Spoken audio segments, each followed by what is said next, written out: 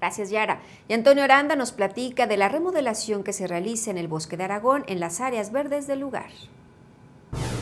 Marta Delgado, secretaria de Medio Ambiente del Distrito Federal, afirmó que la remodelación del Centro de Convivencia Infantil que se realiza actualmente en el bosque de San Juan de Aragón no pone en riesgo las áreas verdes de la zona ni los espacios de venta de los comerciantes del lugar. Lo anterior fue en respuesta a la polémica que se suscitó con la diputada local perredista Yuriri Ayala Zúñiga, quien denunció en días pasados que la concesión del centro infantil es una privatización del bosque de San Juan de Aragón. No sé cuál sea su problema, nosotros tenemos una mesa y un diálogo muy productivo y en muy buenos términos con los vendedores de, ese, de todo el bosque de San Juan de Aragón.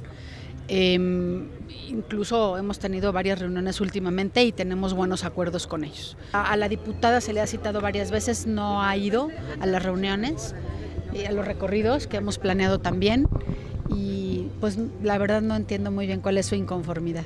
Sin embargo, la funcionaria aceptó que se seguirá el esquema de concesión de algunas áreas para desarrollar un parque de diversiones a cargo de una empresa que actualmente realiza los trabajos de remodelación. ¿Cuáles son los alcances de esta concesión? ¿Qué es lo que están haciendo la inversión privada en el bosque? bueno, tienen, igual que aquí en Chapultepec, eh, posibilidades de hacer un parque recreativo. Marta Delgado aseguró que la concesión de espacios al interior del bosque de San Juan de Aragón genera recursos económicos que se reinvierten para su beneficio e incluso servirá para reordenar el comercio ambulante al interior del bosque. Para Green TV, Antonio Aranda.